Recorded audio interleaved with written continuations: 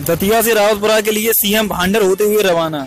BJP कार्यकर्ताओं ने किया चौराहे पर भव्य स्वागत। नगर परिषद अध्यक्ष बल्ले रावत ने किया स्वागत। सैकड़ों की संख्या में रहे कार्यकर्ता मौजूद।